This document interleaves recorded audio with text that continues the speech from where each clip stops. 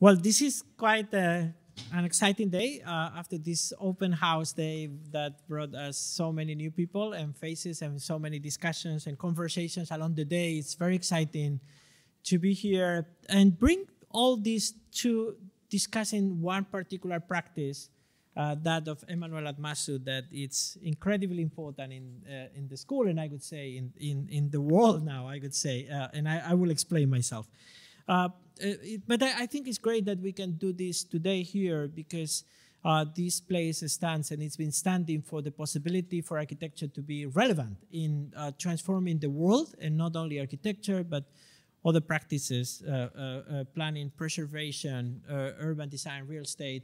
And, and I think that this is something that very clearly it's what makes Emanuel Admassu such an important contributor to the school, uh, to the fields in which he operates, mostly architecture and urban design, uh, but also to the world of culture and art at large. Uh, because Emanuel Admassu is an architect and artist. Uh, alongside his partner, Jen Wood, that also is a graduate from the school, he's a founder of ADWO, uh, a transnational practice that operates in New York, Addis Ababa, and Melbourne, and this transnational condition is not just an accident, I would say, but is owned by Emanuel and by uh, his practice as a, as a way of being, as a way of being and existing as part of the world. Uh, he's also the co-founder and board member of the Black Reconstruction Collective, uh, alongside Mario Gooden, that is also here, and that you've uh, uh those that are coming today and those that are seeing us uh, in, on streaming uh, have been in touch with today. Uh, and of course, those that are part of the school know Mario very well as professor and also director of the MR program. He's, uh, Emanuel is also a graduate from the school. And I remember him very well when I came here 10 years ago and you were already teaching and you were doing many things in the school and we had all these intense conversations in the corridors. And I think that that's something that shapes the place where we are as well, the possibility for these encounters and see how people evolve in time uh, as part of what we do. Uh, he's now a full-time professor at GSAPP and he's teaching architecture and urban design. Uh, and he's previously taught at Re, uh, RISD and at the GSD. Emanuel practice is incredibly complex. It's actually one, it's one of these practices that often people have a hard time to define which I think is good. Uh, his work on installations, artworks, tapestries, uh, he's made basically ADWO, together with his partner, occupy a space in the realm of arts. Uh, but also, he's a researcher, and often we see his work published as architectural spatial research. Uh, and for instance, the work that he developed uh, on the marketplaces of the Kariakoo in Dar es Salaam and the Mercato in Addis Abeba is something that basically help understand that the, the all the compounds in Addis Abeba that I'm sure he will explain today. It's something that basically allowed to understand how um, uh, the, the specific urbanisms uh, that have been developed in particular places like Addis Abeba or Dar es Salaam have escaped the capacity of, uh, of the global north uh, to uh, account for uh, a big part of the spectrum of architectural practices and knowledge. Uh, also, he's done very extended research on the colonial, the persistence of, of colonial order in Atlanta, and he's extracted uh, actually a vocabulary that helps us to understand what is happening in architecture, what is being happening, what is the way that we can confront coloniality in architecture now. Uh, but his writing is also has also been incredibly uh, influential. Texts like Architecture Without Measure, Notes on Legibility with Wood, and Black Compound have actually helped understand what is the uh, basically the, the way architecture is confronting uh, questions of coloniality and colonialism now and, and structure and how structural racism is being performed through architectural practices. Uh, but not only that, art, research, writing comes together with design. And uh, his practice, the practice that he runs uh, together with Jen Wood, ADWO, is also uh, building now exciting, I would say, single family and multifamily residential projects in Addis Abeba. And right now, and you were telling me now that it's about to uh, be published and already uh, open in new space in Williamsburg for light industries for this, uh, I would say, legendary independent space for art and cinema in, in New York and Williamsburg.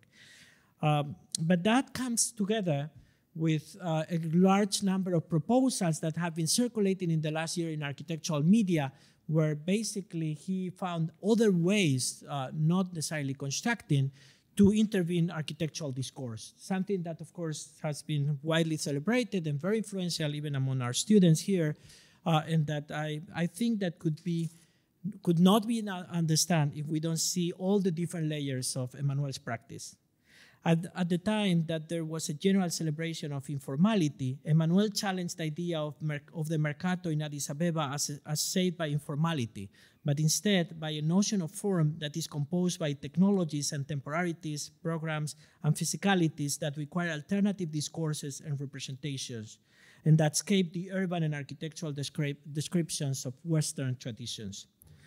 Research, history, uh, buildings, and urban interventions uh, are part of a consistent project intended to, intended to operate in a space that has no conventional archives, that is distributed, that is not contained by state borders. A practice that, in his own words, combines aggressive reinterpretations of history and radical imagination of the future. Something that I love about Emanuel writing is that he writes in first person. That's something that really, uh, uh, I, uh, really attracts me his voice is not an abstract voice of generic universal wisdom, but instead one situated in a particular history and in a social setting. In his article, Black Compound, he speaks as someone who shares an apartment in Providence, Rhode Island, with a kid and, a, a, and another person, who built his life by moving from Addis Ababa to Marietta, Georgia, as a teenager, who felt like falling into the rift that exists between Africa and the Americas. These international constellations of Afro diasporic spaces are the sites where both his life and his work unfolds.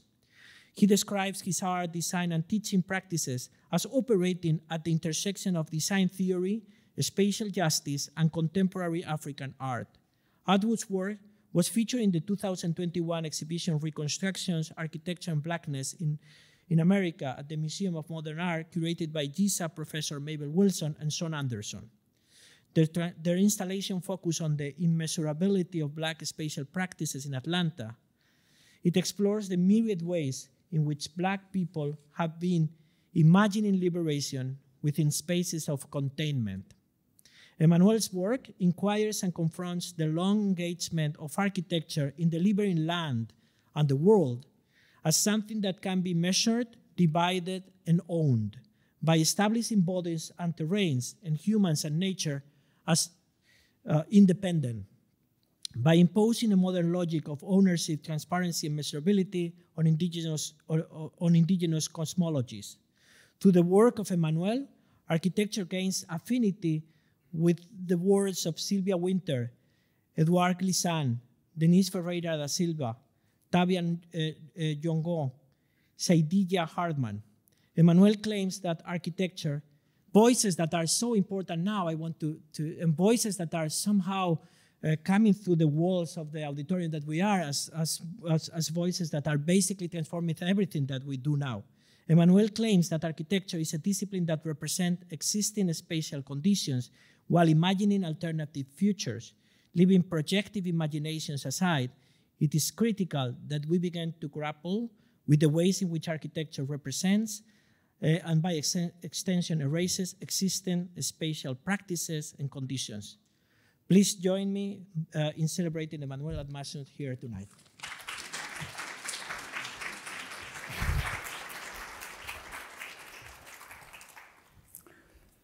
Uh, wow, that that was uh, a very serious introduction. Um, so, um, so thank you, Dean Jaque, for uh, this incredibly generous introduction, uh, but also for inviting me to give uh, the open house lecture in front of a lot of my heroes, um, teachers, uh, current students, um, and also folks who are thinking about joining us here at GSAPP. So no pressure. Um, I'll be presenting some work from uh, my practice, ADWO, um, in partnership with Jen Wood. And I just want to start off by acknowledging the fact that all of this work uh, relies heavily on Jen's uh, brilliance, talent, and generosity. Um, and our practice works in collaboration with uh, lots of people near and far, uh, especially a lot of people in Addis Ababa and Dar es Salaam. And uh, one of our current collaborators, a recent GSAPP graduate, Jean Han, is also here. um, so I'll present a few snippets uh, also from my teaching practice, just to um, think about uh, potential overlaps between the thinking we're doing in the practice and um, the ongoing experiments in pedagogy. Um, some of these thoughts will be clear and direct, while others will be somewhat uh, fragmentary and uh, oblique. So um, let's get started.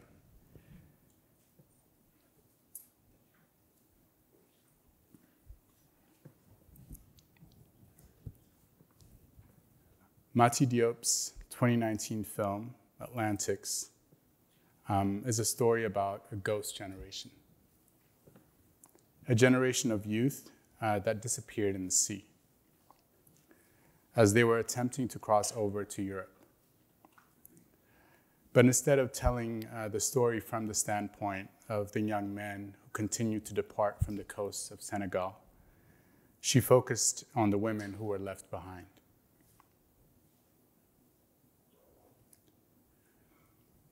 We are interested in spatial practices that function as vectors opening up space for new readings of historic and contemporary conditions. The migration of people and artifacts across the Atlantic, the search for refuge and opacity, thinking with Daniela Johannes's work on geographies of migration on the left, to consider what is lost um, in transit and what is left behind. The earth becomes our skin. Sammy Baloji's images of the small scale mining practices that have replaced industrial mining sites in the Democratic Republic of Congo are reminders of the various ways in which coloniality limits our ability to see.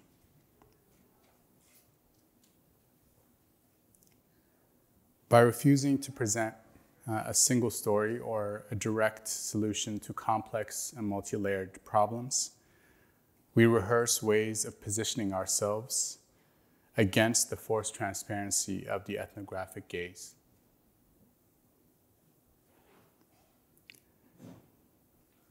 We are interested in making images uh, that are suspended between abstraction and figuration, multivocal and at times dissenting ways of making and occupying space.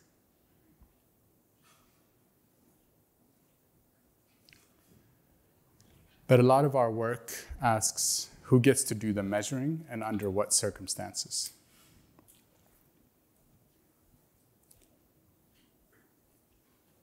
This um, is a map of the African continent drawn by an American anthropologist uh, who had never visited the continent.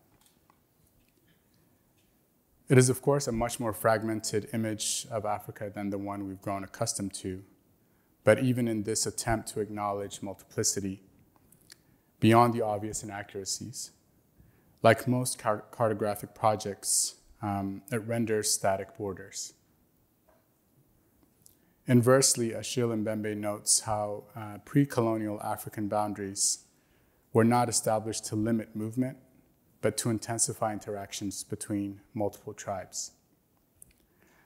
Therefore, one of the core tenets of the colonial state is finding ways to contain the natives that are constantly on the move.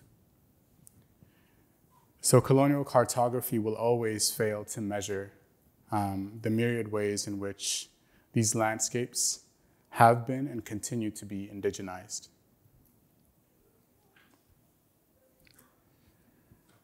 Moving across the Atlantic, um, this is a map of the state of Georgia in 1861, measuring the percentage of enslaved Africans in each county. Again, merging the measurement of land with the measurement of black life, both rendered as property. Our ongoing project, Immeasurability, attempts to trace the seams between the material and immaterial conditions generated by the two previous maps. The singular worldview that has produced our current uh, world order. The Mid Atlantic Ridge serves as an ontological frame, articulating a set of spatial practices that work against the regimes of measurement and quantification imposed by coloniality and racial capitalism. It identifies a relational zone uh, between landforms and people that remain tethered to one another. Sylvia Wynter describes the current permutation of the human as Homo economicus, acknowledging eco- economics as the dominant discipline of our time, a hegemonic world order that took over from religion. She even describes economists as being priestly in their influence over mankind, and more specifically in their influence over regimes of valuation, rendering African bodies and land as sites of extraction that feed European and North American sites of accumulation. This is coupled with her critique of the biocentric logic a racial regime that locks meaning and value with biology. As a countermeasure to this biocentric logic, she proposes a conception of the human, borrowing from Fanon, as a hybrid between bios and mythoi, genetic codes and non genetic codes. What she describes as the non genetic or the sociogenic principles are our proclivities to fashion ourselves through myths and narratives origin stories. I'm particularly fascinated by this formulation because I come from a nation state that understands itself through a seemingly exceptional origin story. It, man- maintains symbolic importance in the Pan African imaginary as the only African nation that was able to successfully resist European colonization. But this preservation of sovereignty required a more regional form of imperialism.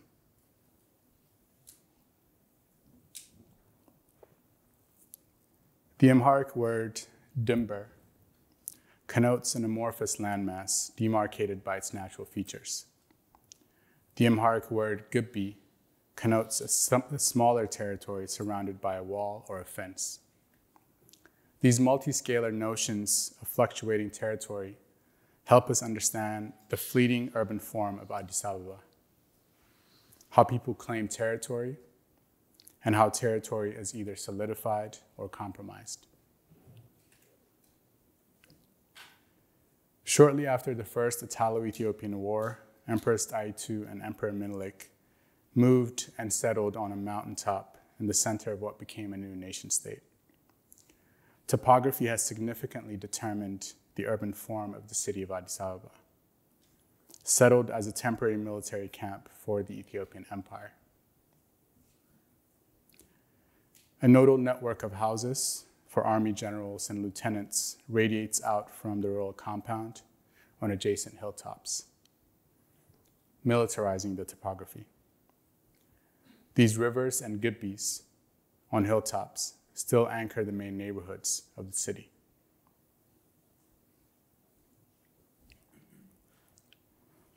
This atomized sovereignty is augmented by a social framework that is porous and amorphous. At its core, uh, the Gubbi is a defensive typology. It has a clearly defined edge containing a series of varied indoor and outdoor spaces. It is a zone of respite and relative stability carved out of an errant and restless city. I grew up in a Gubbi in Addis Ababa, a zone that is constantly penetrated by neighbors, friends, relatives, and their loved ones, providing intimate communal environments for long and short term occupants.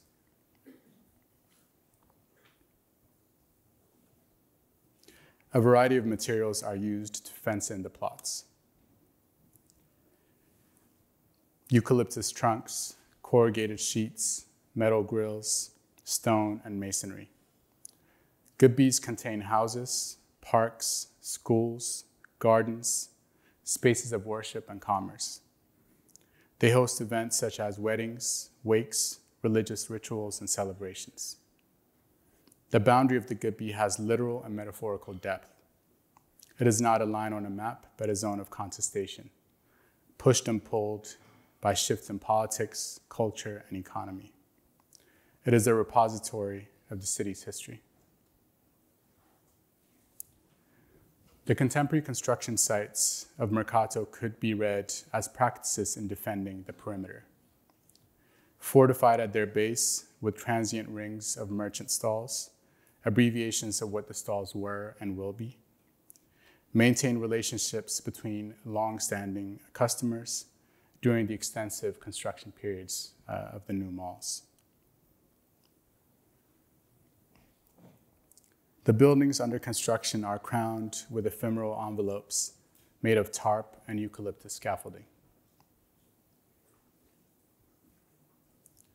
All land in Ethiopia is owned by the state and leased by collectives and individuals. In most cases, that this has intensified real estate speculation, but it has also introduced a level of unpredictability and mutability that is different from Western notions of property. Over the past few years, we have been designing a series of projects that interpret the spatial and social conditions found in these everyday spaces. The Gibbi is the most ubiquitous residential typology in Ethiopia. These are experiments in imagining alternative futures for the Gibbi. One of our first projects as a practice was a large compound uh, that had a series of existing buildings. Two houses for siblings returning home after having lived in the United States for decades. So we designed a very simple landscape and canopy strategy, cohering uh, the two new additions with the existing structures on the site. The contemporary transformations of the Gibbi throughout Addis Ababa reflect materializations of the diasporic condition, namely uh, the contradictions embedded in the desire and the impossibility of the return. This project is a microcosm of cross generational exchange, materialized through a post and beam frame infilled with either glass or stone that matches the existing compound wall. And we have continued to explore uh, these ideas through various design projects, testing expanded definitions of kinship uh, that go well beyond the boundaries of the site. The Gibbi is currently being updated to match an increasing demand uh, for density. In my lifetime, the population of Ethiopia has almost doubled. Uh, the median age in Ethiopia um, is less than 20 years old, Therefore, the population will continue to grow exponentially. So we've been experimenting with ways of stacking the Gibbis uh, of Addis Ababa to design uh, these multifamily residential buildings. And the mild climate of Addis uh, allows for an exchangeable set of indoor and outdoor rooms and a great degree of spatial fluidity uh, throughout the year. This project uh, simply responds to the two meter zoning offset uh, required by the city. And the, the, building has a similar organizational profile in plan and in section, allowing for two hemispheres that are wrapped uh, with a brick screen salvaged from villas that are currently being demolished throughout Addis Ababa. So, uh, by stretching the compound wall to the height of six stories, um, we were able to create a garden matrix between the compound wall and the building proper. And the brick screen is conceptualized as a vertical tapestry with uh, staggered openings. The four sides of uh, the building are slightly different versions of that tapestry in response to extended negotiations with neighbors and uh, the municipality. And those slight misalignments uh, between the openings on the building proper and the apertures in the brick screen offer varied lighting conditions um, on each floor of the apartment building. This project is currently under construction. Um, this is a picture we took this summer, and we just finished pouring the second floor slab uh, a few days ago. So, uh, fingers crossed. Thinking about this piece, uh, Libretto, by Charles Gaines, Fred Moten writes I'm interested in what can't be finished or cleared up. The unpayable debt, the unaccountable. The monk like discipline of the artist Charles Gaines, who for the most part works in series, produces work that is rigorously systematic and intellectual, playing with language while resisting interpretation. This work superimposes excerpts from an opera by Manuel de Falla with a speech by Kwame Ture aka Stokely Carmichael.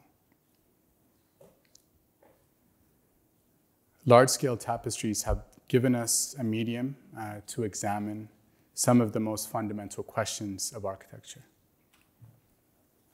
And Charles Gaines's work has been instructive in helping us think about the liminal space between codes and experiences, especially when it comes to representing the two marketplaces uh, we've been working on Kariakoo Dar and Mercato in Addis Ababa.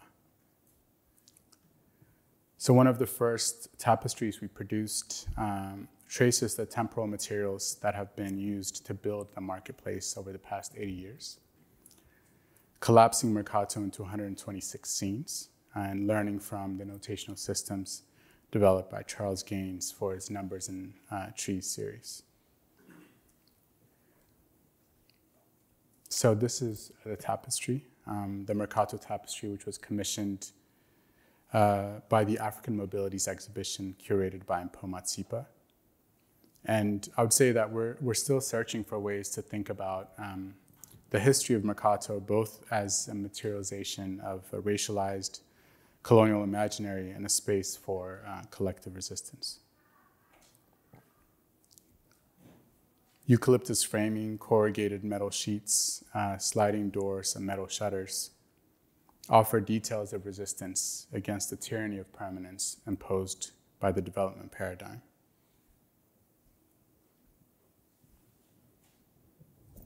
I would say that the origin story of Dar es Salaam could be understood as a counterpoint to the origin story of Addis Ababa. Many of the buildings in Kariakoo uh, have formal and material qualities that echo architectural details from across the Indian Ocean, reflect, reflecting the rich history of movement and exchange between South Asia and East Africa.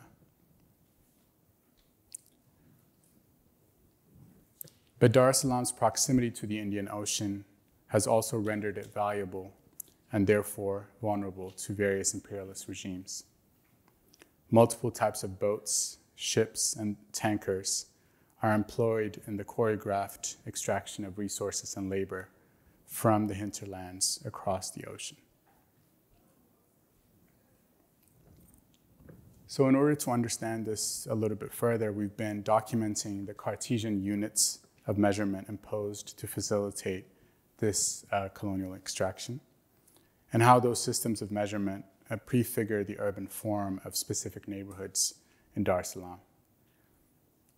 Uh, for example, this uh, nine by nine meter grid of the coconut farm established by Sultan Majid bin Said of Zanzibar in 1862 pretty much initiated uh, a regime of measurability on Dar es Salaam. The land, its people, and resources have since been allotted to quantifiable units. The coconut farm transformed into plots for single family homes for indigenous Africans within the racially segregated master plan uh, that was designed by the German colonial regime and emplaced eventually by the British. But even the name, the name Kariakoo, uh, is a Swahiliized derivation of Corps Depot, a generic industrial shed used by German and British troops during the First World War.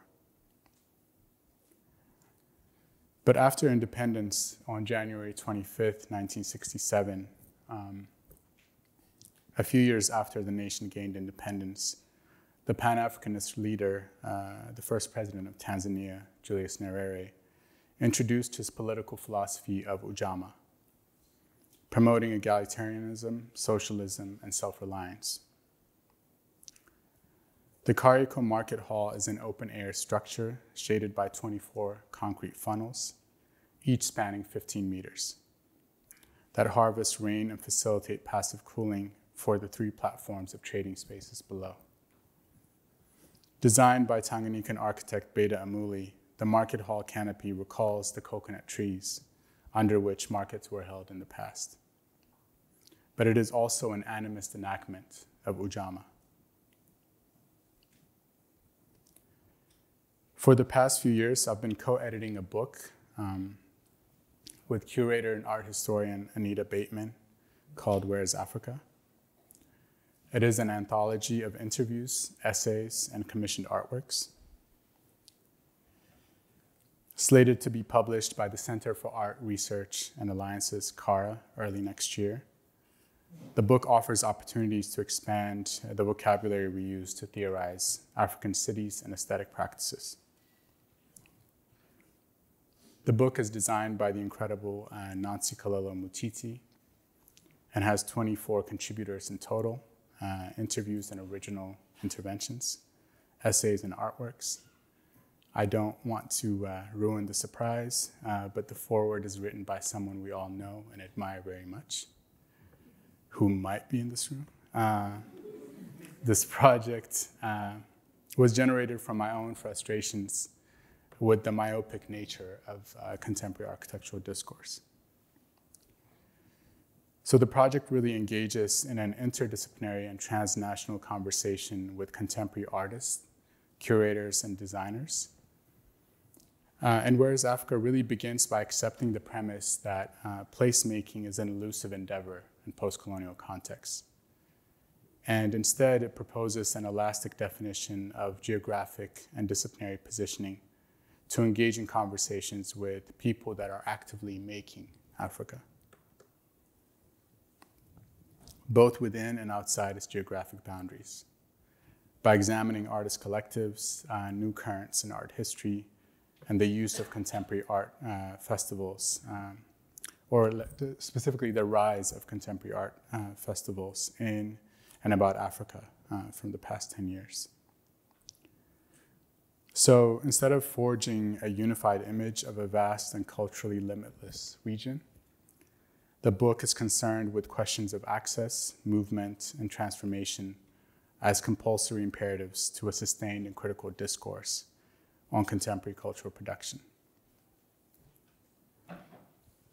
And I would say the aim is still to disrupt uh, epistemological tendencies that address contradictions within neocolonial discourse without articulating the subversive agency of colonized people and places.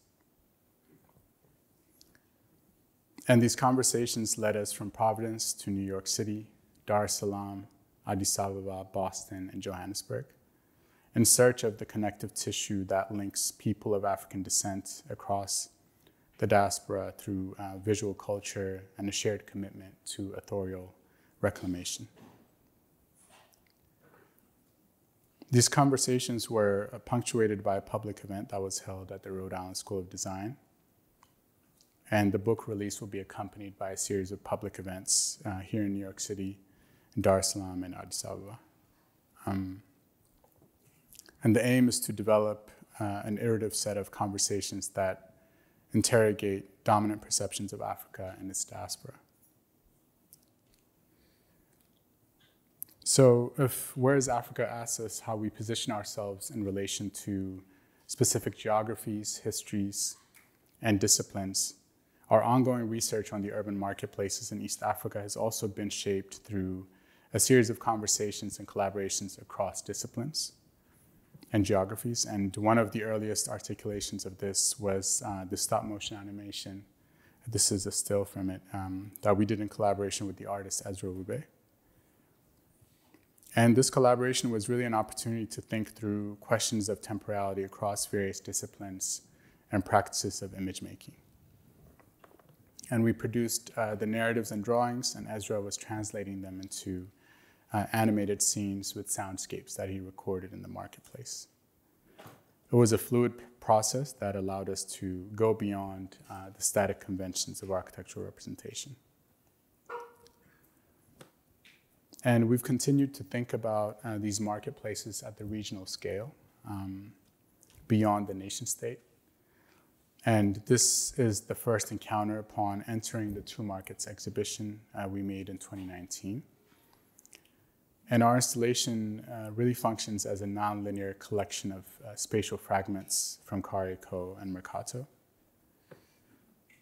Uh, but specifically misalignments between the colonial imaginary and local resistance has been central to this research um, on the socio-spatial identities of uh, the marketplaces, producing images and artifacts that narrate the fragmented history of uh, Dar es Salaam and Addis Ababa.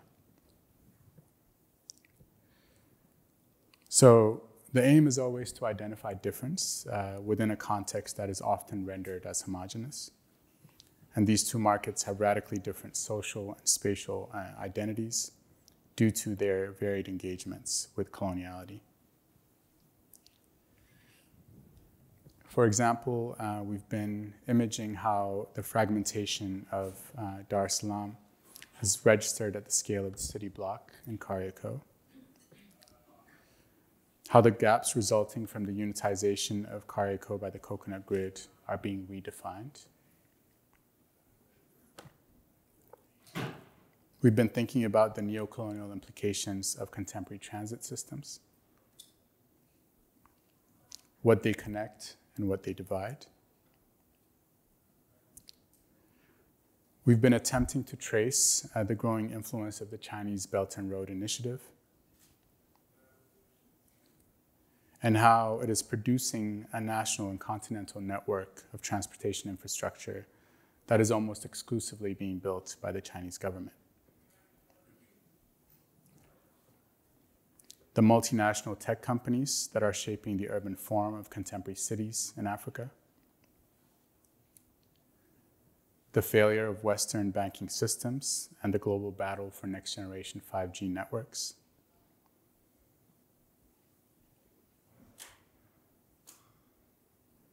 But we've also been trying to document various forms of collective ownership in Mercato um, that produce mega blocks of resistance against land speculation.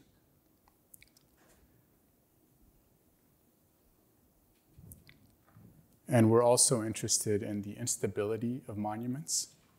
Uh, these instabilities offer opportunities to, for shifts in politics and culture. How a building that was designed um, as a demonstration of individual wealth in a feudalist society becomes a symbol or a monument for a socialist military junta.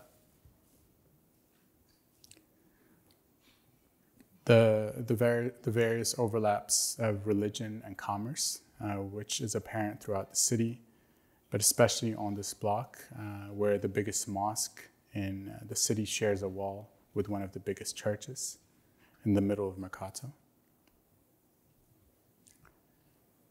And in both cases, uh, the urban marketplace is a microcosm of the nation. And they present various aspirations of sovereignty.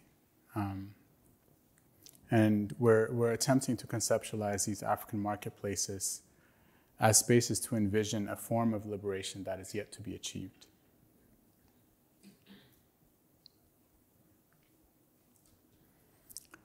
In line with this work, we also understand that world making after property requires collective imagination. This semester, I'm teaching with a brilliant group of colleagues and students um, in the urban design program. Our studio titled Atlanta After Property challenges students to identify samples, temporal slippages, and spatial practices that carve out moments of liberation from the limits of property. And the studio is framed around a central question um, how can we disentangle architecture and urban design from property? Last spring, um, I taught a studio called After Images, and the studio engages with the ongoing global debates over the vast collections of looted African artifacts uh, that are contained in European and North American museums.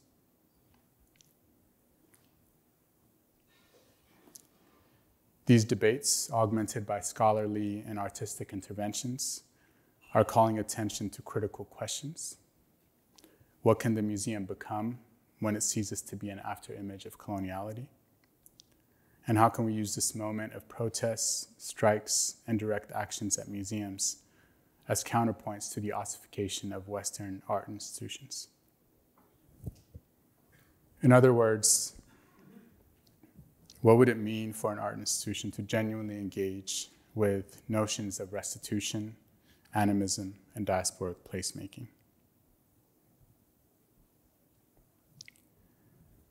So, uh, finally, returning to the Mid Atlantic Ridge and Mati Diop's Atlantics. The non dialectical thinker and philosopher Édouard Glissant speaks about the transparency of the cinematic image. What is left outside the frame is critical. He states that the Atlantic is a mausoleum. It forces us to find ourselves in relation with the other. And as uh, Dean Jaque noted, Tavia Nyong'o describes Afrofabulation as, and I quote, the ghost note, the unplayed note that is virtually heard by the trained and expectant ear. The Mid Atlantic Ridge, the longest mountain range on the planet, is situated on the ocean floor between Africa and the Americas. And it is the ghost note uh, for the birth of racial capitalism and the partition of the planet. It cannot be captured by satellite imagery, submerged deep below the water surface, hidden by 500 years of history yet to be carefully excavated. Our work for the exhibition at the Museum of Modern Art, um, titled Reconstructions Architecture and Blackness in America, uh, curated by our very own Mabel Wilson and Sean Anderson, focuses on the overlaps between Atlanta and the Atlantic. The curators commissioned uh, 10 artists and designers to produce work that analyzes how anti Blackness has and continues to shape 10 American cities. But an important um, legacy of the show is uh, the formation of the BRC, the Black Reconstruction Collective, uh, which is a nonprofit organization started by the 10 of us uh, to provide funding, design, and intellectual support uh, for the ongoing and incomplete project of emancipation uh, for the African diaspora. I won't reiterate this, but I stated earlier my transatlantic move from Addis Ababa to Marietta, Georgia as a teenager felt like falling uh, into the rift that exists between Africa and the Americas. And I left um, the comfort of a Gebi in a bustling African capital and entered into a quiet subdivision uh, in a northern suburb of Atlanta. But my move was also an embodied transformation uh, and transition uh, from a distant and relatively abstract understanding of one's place in the world to a direct confrontation with the hierarchies that shape and maintain it. Architecture tends to concretize existing regimes of power. Thus, its commitment to measurement and transparency is always already tied to subjugation and control. Peter Gordon's etching of Savannah, Georgia in 1734, establishing the colony of Georgia in America, is an explicit depiction of this tendency. His etching can be read as a foundational diagram for the spatial practices of settler colonialism. the dispossession of land from indigenous people, the clearing of the forest, that was eventually followed by the conversion of that land into measurable units of property. These ideas operate in contradistinction to various indigenous cosmologies, both here and elsewhere, which for thousands of years have, have been predicated on the belief that land is sacred and communal. It cannot be measured, owned, and divided. It requires collective stewardship and care. And these questions of property and the ways in which we measure and share the planet were fundamental to uh, the project and measurability. So again, instead of focusing on the systems that devalue Black life, we were really interested in sites of collectivity and abundance, uh, the various ways in which Black people practice immeasurability. But the installation we produced um, for reconstructions is fundamentally a prototype. Um, it's simply the beginning of a long research project which attempts to think about and find language to represent Black spatial practices that remain illegible to architecture and urban design. And these are systems that are uh, not strictly tethered to power and capital. So it's an attempt to look beyond, above, and below uh, disciplinary boundaries of measurement. And we're looking at uh, these everyday spaces of Black life, which offer conditions or possibilities for the dissolution of property. We modeled uh, the built environments in the predominantly Black neighborhoods of Atlanta and as you can imagine, by and large, these are environments made of the same fragments that you see in most American urban and suburban contexts uh, strip malls, highways, and single family homes. But we wanted to start our experiments in representation by doing a series of uh, image and material studies that conceptualize Black spatial practices between flow and form uh, we were interested in the slow material transformations from sand to glass. Um, and, you know, the, the Mid Atlantic Ridge itself um, is very much a site for the formation of blackness, um, but it also prefigures a global black aesthetic.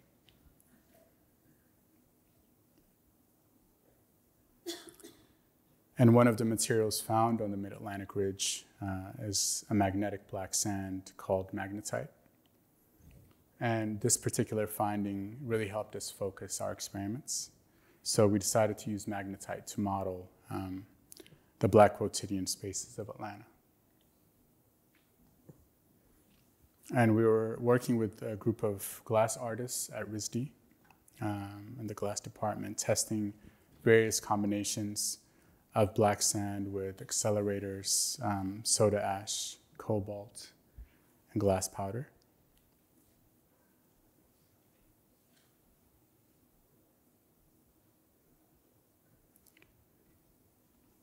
And we started this work by accepting um, really architecture's sublime temporality, not its pretensions of permanence. So we were also thinking about ongoing practices of refusal that transform spaces of subjugation into spaces of black joy. I show this image a lot. Um, this is an image of Paper Boi lost in the woods. And uh, for us, it was really interesting to think about um, the woods of Atlanta as spaces um, for Black and Indigenous imagination.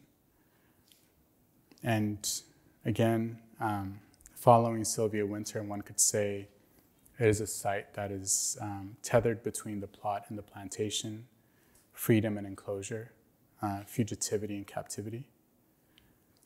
So we were also tracing how these environments keep reappearing in popular culture, uh, from TV shows to uh, music videos from and about Atlanta. And we wanted to uh, zoom into specific spaces um, in the city And these image st- studies were experiments uh, with the overlaps between these generic kind of chain restaurants that appear in the clearings within the forest and the types of um, interactions and um, communities that are formed there.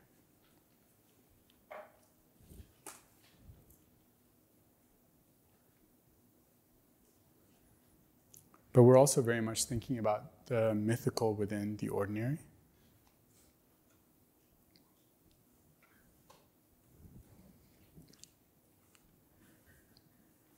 And the installation um, is made up of two discs, uh, one horizontal and one vertical, both six feet in diameter. The horizontal disc, as I mentioned earlier, is a dynamic model of everyday spaces in Atlanta. And these are a series of fragments showing a day in the life of a person, uh, modeled as bricks. And the magnetite sand shifts between uh, the bricks, activated by a series of magnetic robots below the glass disc. And the vertical disc is a tapestry of the Mid Atlantic Ridge, um, considering historic and ongoing Afro diasporic migration. And this is a detail of the tapestry documenting the slow and often painful process of converting vectors into threads.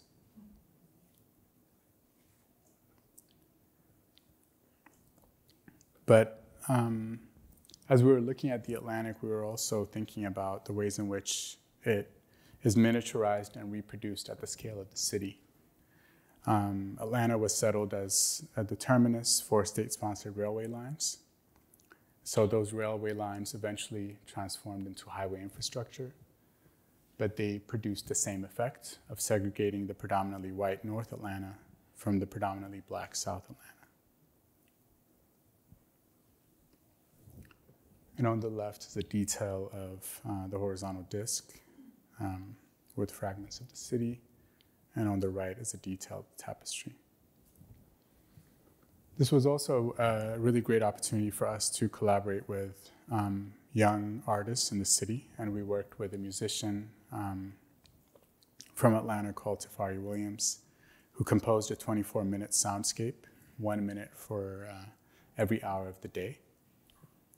And this followed the loose narrative that was established um, to lay out the bricks on the horizontal disk. In section the cone, um, the bottom of the cone um, housed the speakers and the Raspberry Pi. And the top shelf um, was used to anchor these rails with the robots uh, that would be shifting the sand.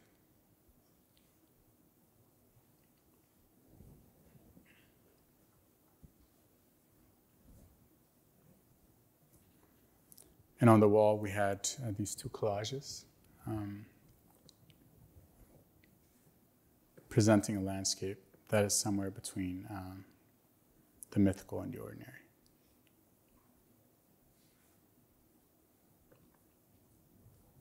Thank you.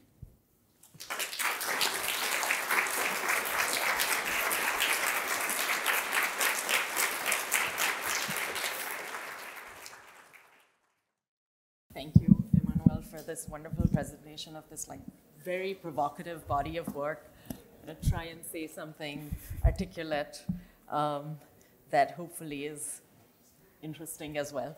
I, I, I think one of the first things that I want to say is that there's, there's this way in which in your work you move between the um, the personal and the political with such seamlessness, one doesn't even notice.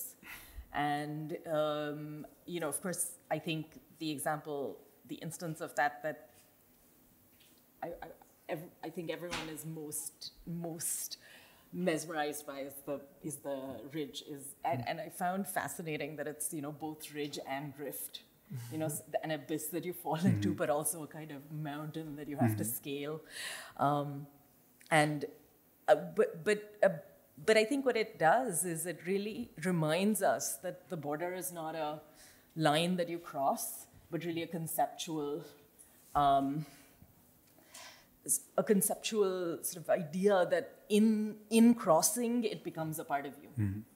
And uh, where, where, where once you cross that border, and I have that same experience, you're always bordered. You know, Yeah. you're always carrying the border with you, and then you are um, an outsider everywhere. You're just uh, always, uh, always outside. Um, but then that outsideness gives you certain capacity to then um, speak in hopefully, you know, critical and interesting ways. But but it's it's a it's a it's a complicated position to it's a complicated position to um, inhabit this this this sort of bordered um, experience of the planet. Um, I think one of my central sort of comment, observation, questions is about um, the way in which your work is infrastructural. Um, what I what I what I I'm gonna try and get it all so that I don't forget any of the pieces. Okay, so uh, what do I mean when I say that? Uh, one, one of the things that you know you sort of bring up in your work is how um, capital has a way to find what is uh, valuable and thus make it vulnerable. I think you talk about that in relation to um, uh, the the the, the. Kariakoo, Yep. Kariakoo. Gosh, I've, I've been trying to figure out how to spell it so I can Google it, and I, I, I can't. the Kariakoo uh, relationship of the market to the port, and, and how, uh, and and, I, I, and you have the drawing of that. Um, and, and you know, in that sense, both that and the Belt and Road Initiative uh, occupy very normative definitions of infrastructure as that which you know move commodities Yeah. over space across space. Um, but at the same time, infrastructure also has a temporality to it, a very different temporality from the one that you talk about. And that is, I think we can talk about this temporality as infrastructure is constantly promising a better future. But in the act of promising this better future, it's commodifying the future. You know, it's sort of uh, like futures or speculation. And there are all of these ways that infrastructure um, commodifies the future before we even imagine it. And um, there's an additional contradiction. Oh, well, I want, you know, I think key key to this in relation to some of the things you said is about you know the age of the Tanzanian and Ethiopian population, that the young people, and so this, these infrastructural projects are really um, aiming to kind of capitalize on Yeah. that on their future, uh, extract in, in, a, both extracting and uh, creating a market. You know, Yeah. two, two ways.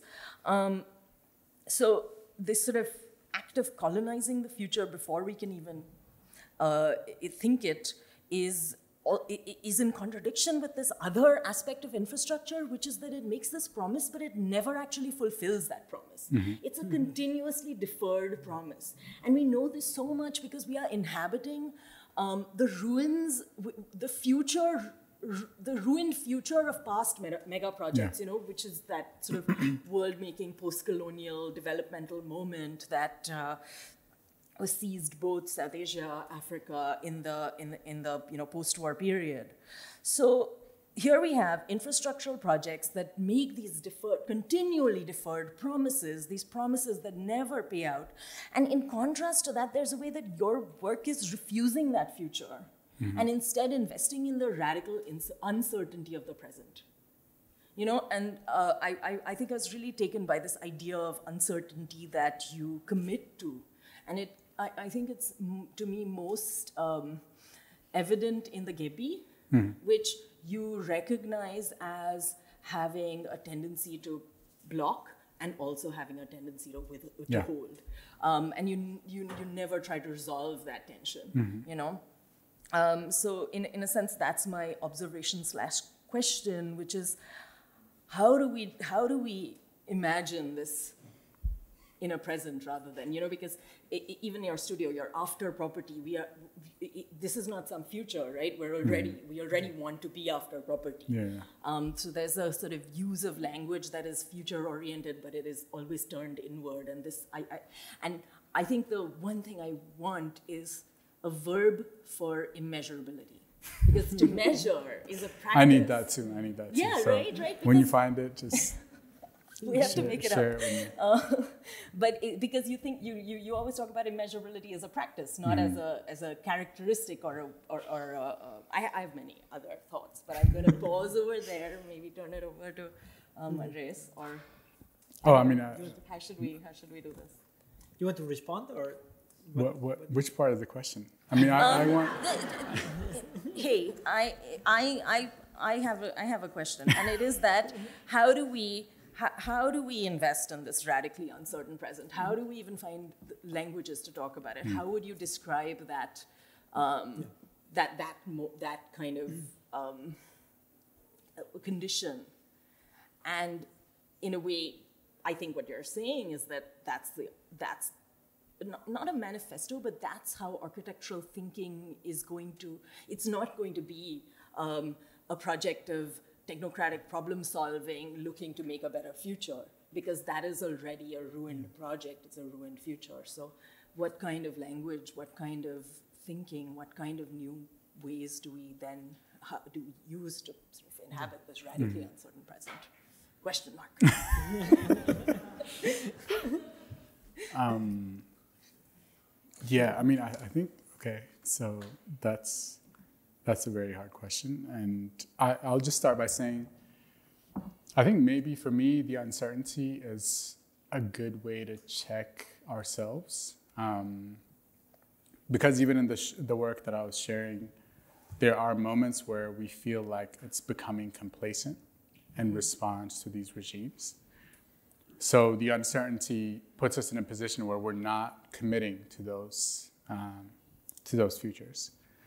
But it also allows us to be a lot more agile and spontaneous. And um, quite frankly, the, the, the work that we do in Addis is in intense collaboration with a practice called Yema. Um, and they're kind of a media practice as well. So they're always thinking about city, they, ho- they host radio shows, and have these weekly debates about the future of the city.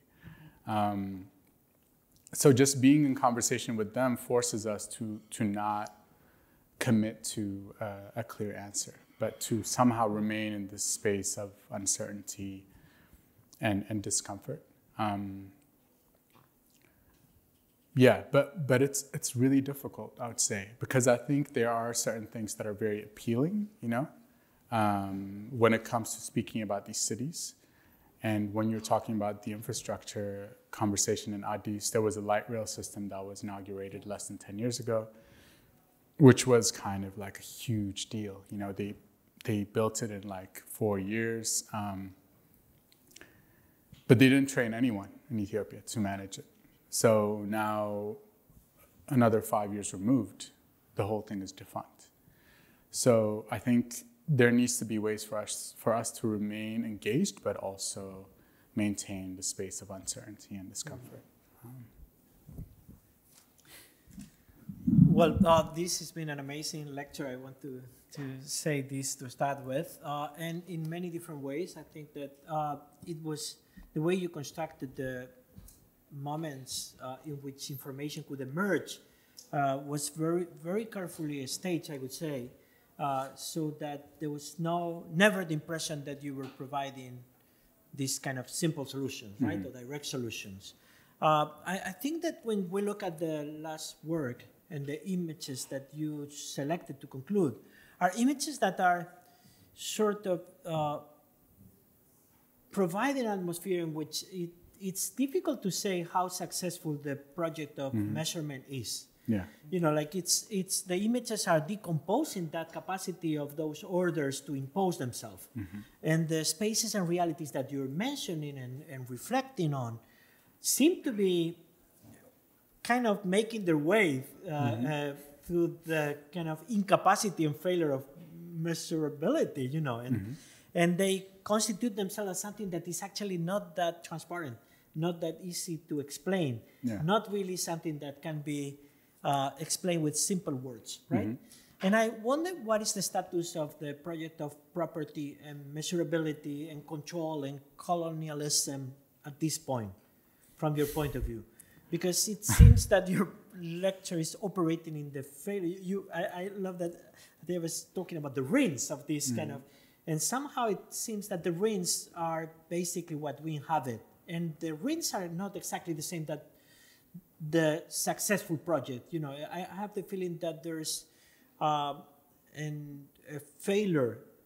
Like it's not that we're combating, combating something or confronting something that is incredibly successful. It's that the structure of property, the structure of measurability, the structure of transparency are structures that are have failed Yeah. and that we're inhabiting in the basically this failure.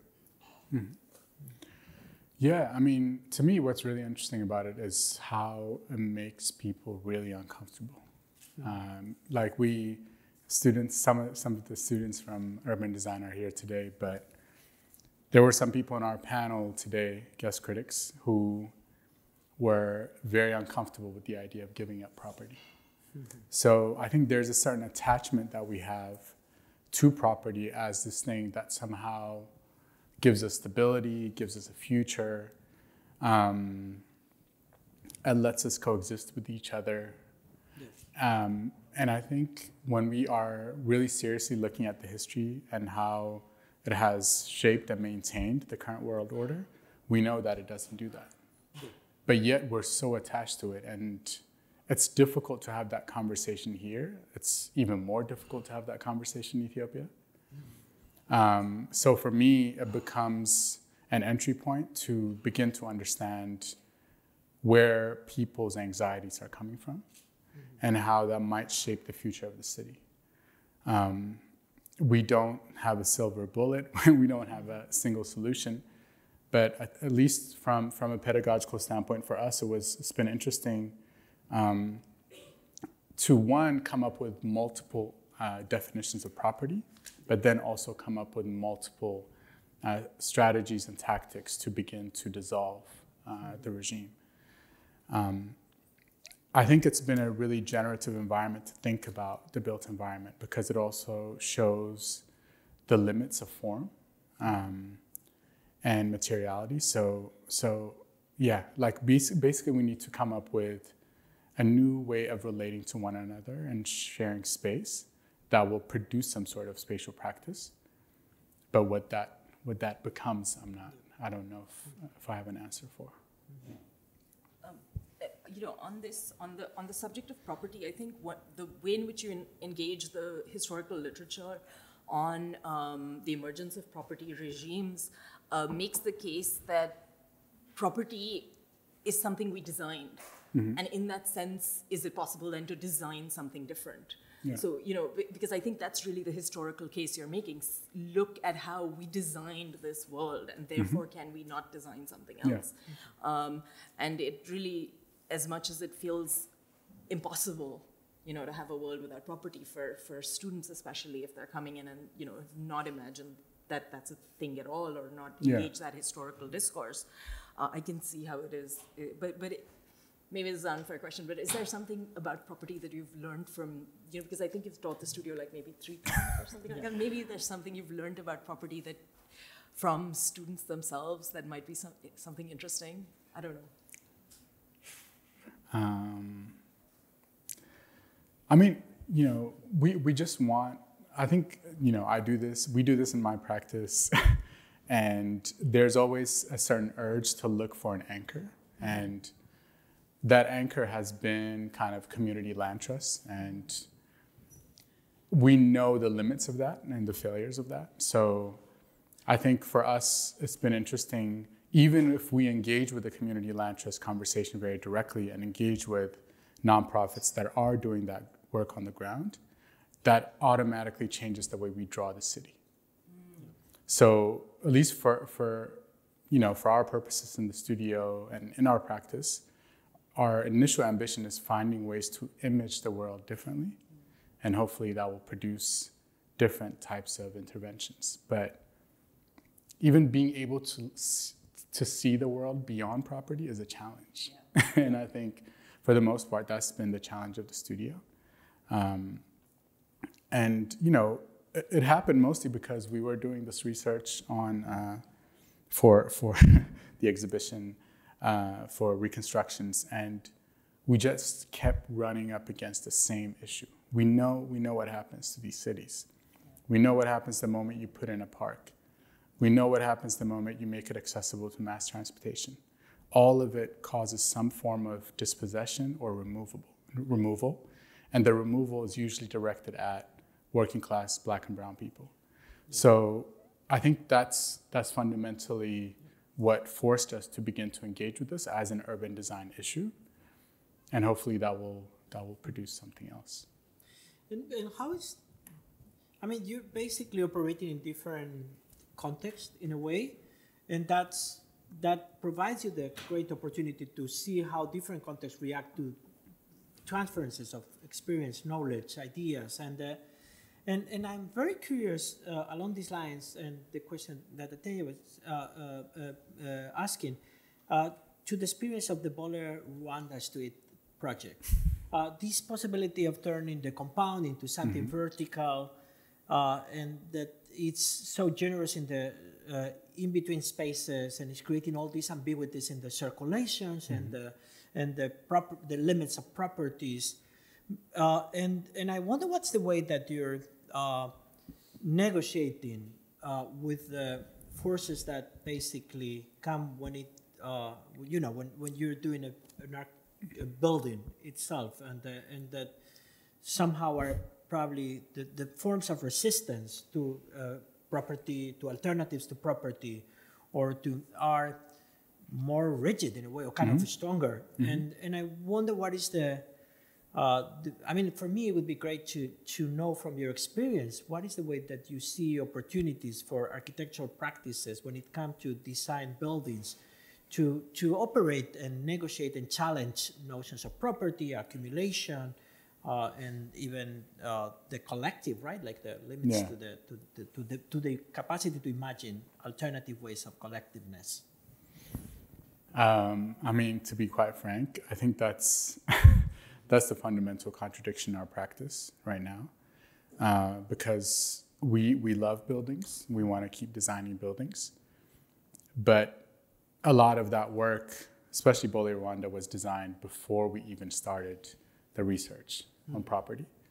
Um, but it was designed at a moment where we were really looking at the Gebi very seriously.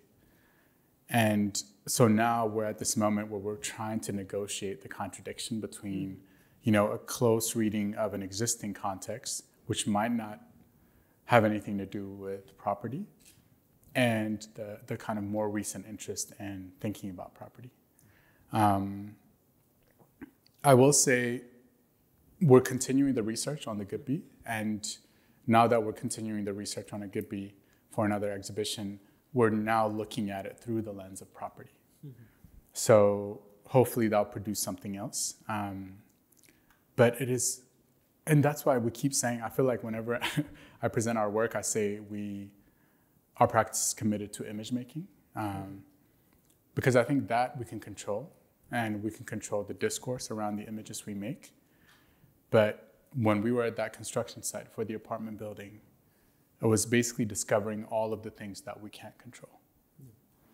So um, for me, that's that's humbling and productive, but it also doesn't mean that we don't we, that we have to stop doing the other work, you know, and that other work has hopefully helped us imagine a world beyond that apartment building and beyond the ways in which the city is currently structured.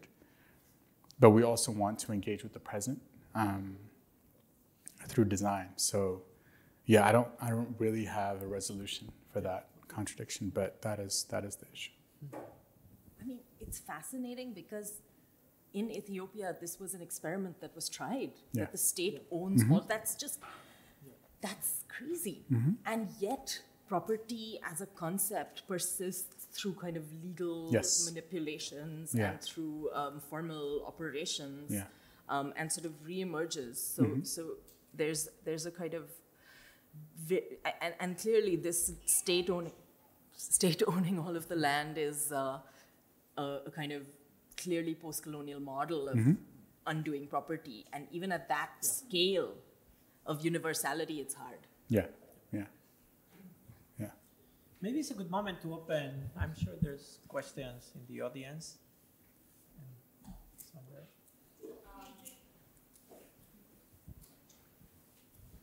Hi, thank you for your lecture. Um, just one simple question, like um, the image you showed before is very consistent, but the color is very vibrant. How you make the decision to use what color? Is it affected by project or like some research behind it? Like when you produce this kind of like image, what is the decision in this color and scheme palette? Um, I like these types of questions. Uh, so when we were working on two markets, um, well, let me step back. The, the way we typically operate in the practice is, and also similar with the pedagogy, is when we have a project, we start gathering a set of samples. And these are usually artists that we want to be in conversation with. And there were a series of artists from Ethiopia, contemporary artists, whose images we were basically responding to through each one of the drawings. Uh, but simultaneously, we it was also at a moment, and this is maybe a disciplinary kind of question. At a moment, we graduated from grad school at a moment where everyone was doing these incredibly, incredibly detailed line drawings. And it was kind of a demonstration of labor. Um, and I think like we were both frustrated with this idea that we give it value because it shows the amount of labor it required to produce. Versus the artist that we were looking at, we know that it required an incredible amount of thinking and effort, but it was never a demonstration of the labor. So we wanted to start engaging with that way of practicing. And um, one of the artists that we were really looking at, especially uh, for um, two markets, was Aida Muluneh, who's a photographer from Ethiopia. And she does these, these contrasting backgrounds, and the background always is embedded with some sort of cultural and political value. So for us, for each one of the, the drawings, there's a narrative that we wrote that is engaging. For example, with the one I showed about the history of Ujamaa. So all of the colors that we selected were either from the site or documents we gathered from Ujamaa. Um, so it's, it's somehow a combination of the two, but of course there's a lot of intuition as well. Um, but I would say, yeah, I mean, I, I, think we're, we're trying to think about that very carefully now as well. And just really um, being inspired by, uh, yeah, like I showed Charles Gaines and the ways in which there's, there's an aspect to the process that you don't need to reveal, you know? And, and I think there's so much to two markets and immeasurability that is very difficult to talk about because it produced the thing we produced, but it doesn't need to be part of the discourse. Um, so I, I hope that answers your question.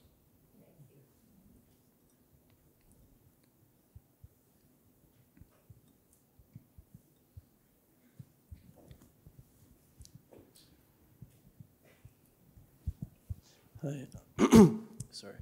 So when you talk about discourse with like artists and creatives from Ethiopia to create like these wonderful pieces, is there the same kind of process that goes into it, as in like a discourse with the community when you're talking about building these residential buildings?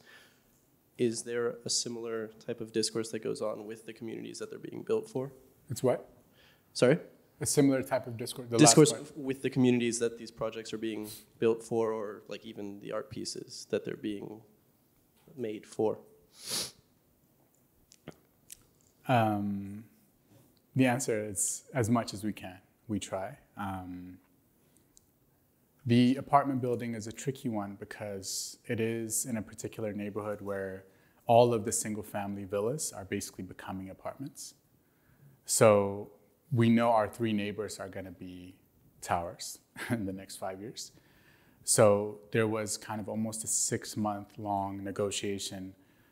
Um, and it's hard to show in the images, but basically we had to decide, decide the percentage of opacity, which is something that is negotiable. Uh, so after we designed the facade, we had to negotiate with each one of the neighbors to figure out how much of their lot we get a view into or we get to see. Um, so that's always part of the practice and but when we go to, um, I want to be very clear, like we're not anthropologists, you know. So when we go and work on um, the marketplaces, is mostly a collaboration with architects in those cities and artists in those cities. So we're not, we're not doing kind of uh, oral history or ethnographic work, but engaging with the documents that were produced before us and how we're responding to them. So almost all of the buildings that we drew were drawn before us, but they were drawn to represent a particular political agenda, and we're trying to somehow shift that. That is for me also very interesting because in a way you're not explaining what happens there, right? Like there's Yeah. something very different of the, the the work that these documents and these approaches do in your practice is not really about explaining. Mm-hmm. It's it's something different, right? It's even creating uh, lack of clarity about uh, uh, them, right? Like Mm-hmm. Yeah. problematizing, uh, complicating the, the stories of these Yeah. architectures that you're part of, right? Yeah. Yeah. it's interesting because the other day Raven Chacon was saying something similar that uh, as, uh, as part of his engagement with indigenous practices, he understood that he should never explain what was happening, that he, was, he, he, he would see his work as disposing it Yeah. differently, but not really about providing a clear interpretation that could replace the reality. Yeah, and that's that's kind of that goes back to the earlier question around uncertainty because I think there are moments where we want to explain, you know, because we're in these types of environments where we're presenting to people who don't know the space. But it always feels awkward, you know. It feels. I, I think to me, it's much more productive when we're impl- implicating ourselves and the audience than pretending as if we are watching these people, right, or these these spaces. So, but it is some an urge that we have to fight because I think our training um, makes us want to explain, you know, uh, makes us want to make them transparent.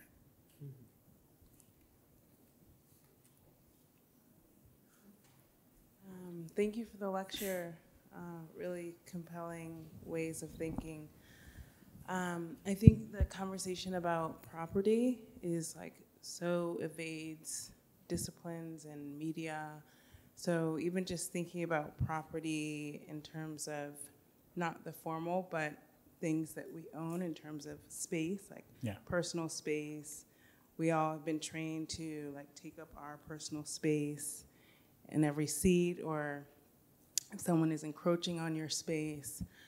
Um, so, in terms of property as um, the right to own space, I think it's a really um, provocative way of engaging with architecture, um, with your background and your way of uh, thinking about space that maybe from childhood and the origin story that you were talking about, the land is something that is collectively uh, cared for, as opposed to at the exclusion of other people, it's mine. Um, so, in terms of property and my space or space being owned, even temporarily, I wonder if you like um, how you think about um, engaging in spaces like in this country and other places where it's accepted that space is owned and at the exclusion of other people.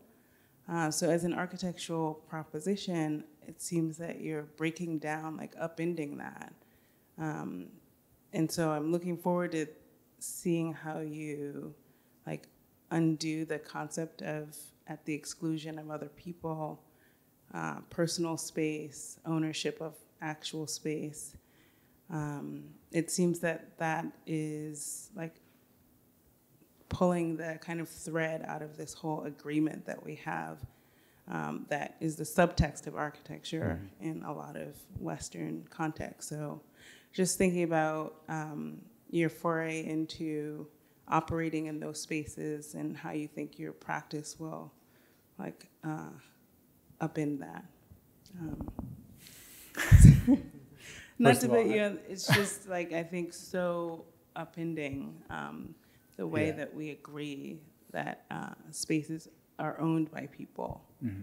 as an entry to architecture when it might not even be that definition. Yeah, I mean, one thing I, I just want to say is there are a lot of people thinking about this right now, and I think for us, um, it's been more about identifying fellow travelers, and a lot of those fellow travelers are actually not within our discipline.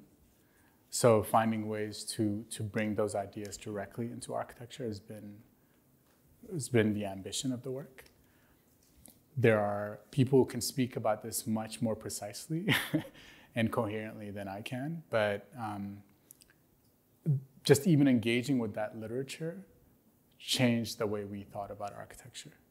So it's something that we decided to commit to as, as an area of research. Um, but yeah, there are a lot of incredible minds out there that are writing about this, thinking about it, kind of unpacking the history of it in multiple contexts. Um, so we're not in any way alone. um, and yeah, it's, it's um, but it is, it is challenging. I mean, how, how that applies to, the, like uh, Andres was asking, how that applies to the buildings we're designing, uh, I don't know. But, but we're trying to figure it out.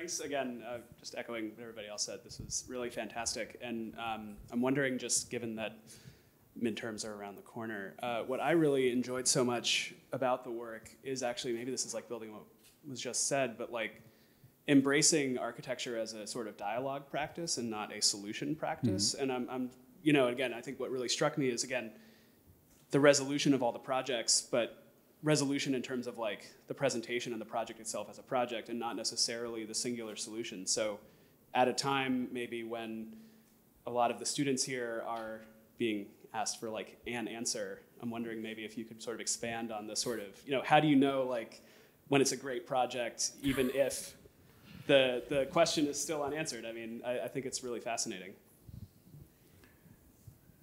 Um, yeah, I don't know. I mean, maybe the students should answer that, but um,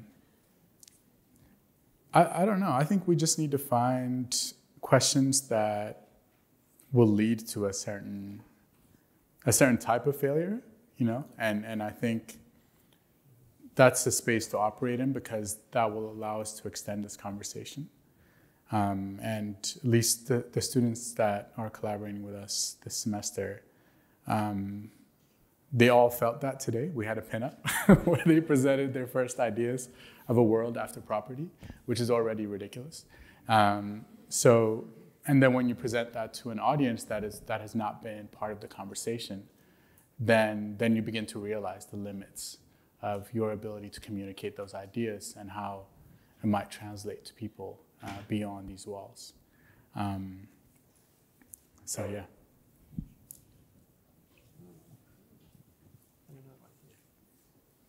There's three questions, one there, one there, one there, right? Um, I was hoping you could speak a little bit more about kind of the layered processes of image making as a response to colonial cartographies, as you spoke about, but specifically the fact that you're trying to convey these messages in spaces, institutions that are largely produced by the by these colonial cartographies, and in terms of that negotiation of space and aesthetic practice and through the lens of black aesthetic liberation. Sorry. Wow. Uh, CCCP. yeah, I, I could have guessed. I could have guessed that.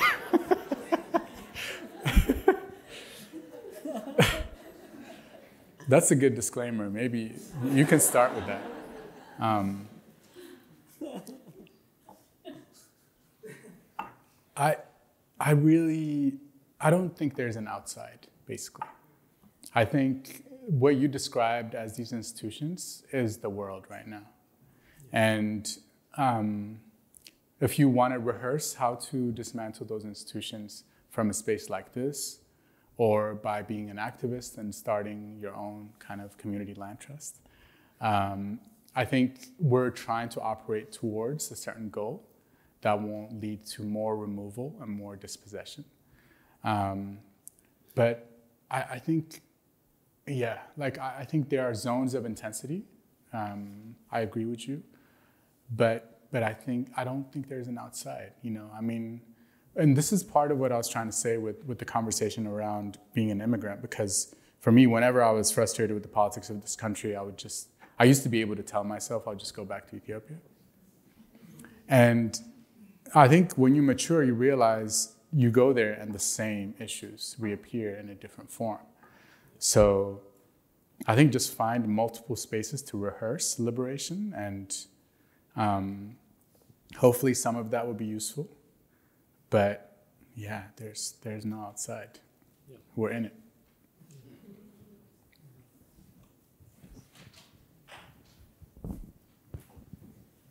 I want to get into a question about uh, your practice, since you spoke specifically about how your practice in creating architecture is inspired by looking beyond uh, property and you know questions of this kind of exclusion.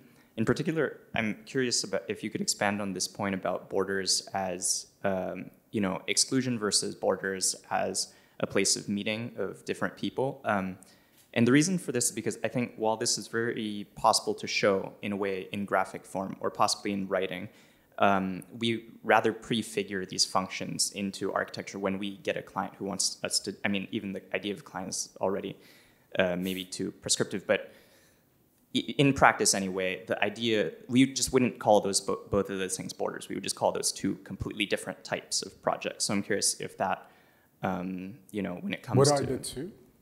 Oh, uh, I think early in your presentation you mentioned the idea of borders as exclusion or as a limiting of movement versus mm-hmm. borders as a place of meeting. Um, and I, I, just took this as one particularly interesting example because it seems like outside of here in terms of uh, school or outside of writing or outside of, you know, in, in terms of practice, we would just consider those two completely different words. Um, yeah, sorry if that. Yeah sounds prescriptive, but I, am very curious. Um, so I'll say basically some of the things I, I, showed today are ideas we're, we're just beginning to explore. Um, but we're trying to understand how these practices are multi-scalar. So when I showed the image of the African continent, it was an anthropologist who didn't want to draw the nation state boundaries, right? So in his mind, in his time, he was being radical. He was saying, I'm representing all of these different tribes throughout the continent, and that gives you a completely different image. But even in that representation, he wanted to solidify the edges. When we know, you know, like at least the ones that I'm familiar with, do not stay within that territory. Those things are amorphous, and you're constantly negotiating new territories. And depending on resources, you're moving to another place. So I think just looking at that map, one was jarring for me because I've always seen the image of the continent with the national boundaries. And second, when I started thinking about it, I realized that doesn't go far enough. You know, because when you go into those environments, especially in, uh, in rural Ethiopia, um, the ethnic boundaries are incredibly contested, you know, and it's not a line, it's never a line. And um, when when we scaled it down and started thinking about at least you know the more pleasant experiences I had growing up in, in a Gebi and a decent compound house, that was also a situation. Even though there is a perimeter wall, it felt like the gate was always open. It felt like there were always people who were not part of the family in the house. You know, so we're trying to find a way to to link these two scales. I don't know if I have the right language yet but to me, that is not about policing edges. That is actually saying we're going to produce different zones, and those zones should be traversed by different people, right? So I'm not saying, um, yeah, I don't know what the word is basically. So it's, it's not, there needs to be a way in which we maintain difference between these zones while making sure that people um, are um, intensively engaging with one another. Um, and just to give you kind of the other extreme of it, you know, when I moved to Marietta, Georgia, there were no fences. But you would never step on someone else's lawn. It was scary. Like basically, the moment you see that line on the lawn because the neighbor mowed their lawn five days before you, that is the line you cannot cross. So the invisibility of that edge what also produced a more intense version of policing than the edge that I was familiar with, where you know the, the, wall is there, but you're expected to cross it. So that's that's kind of where where we're what we're trying to think about. Um, and I, I agree with you. We don't necessarily, especially uh, in architecture, we don't necessarily have the tools to really represent that. So I think that becomes an experiment and a search. Mm-hmm. Maybe find a question there. Hello. Oh. Um, first off, thank you for coming and thank you for your presentation. Um, I think your talk today and your work made me really think about storytelling and kind of almost like this myth making, contemporary myth making that you're doing, um, just by capturing the storyline through like a variety of symbols and representations that might not literally exist, but can kind of tell a story through the materiality. Um, and I just think it's really interesting as a person of diaspora how you're connecting such disparate landscapes in a way that has such a clear thread, like through the um, tapestry here with the, the Atlantic Ridge and the sand that you used to create Atlanta. It was kind of building this connection that I hadn't even thought about before in terms of the Atlantic slave trade and Atlanta as a space. Um, and I'm just curious to see, like, in what ways do you see that myth making or contemporary myth making as this kind of anti colonial resistance that usually treats history as something so rigid and, and um, rational and logical? Um, and just kind of how you see this representation in your work um, borrowing the symbols from a variety of myths or, or stories or, or kind of lessons that people can build from, if that makes sense. Um, so, I, I, mean, disclaimer, I think, I, I don't know if I'm, uh, maybe I should check with, with Mabel. Um, because she's she's spent much more time thinking about uh, Sylvia Wynter's work. But for me, like reading Sylvia Wynter is eye opening because what it helped me understand is that we need to find new origin stories in order to move forward.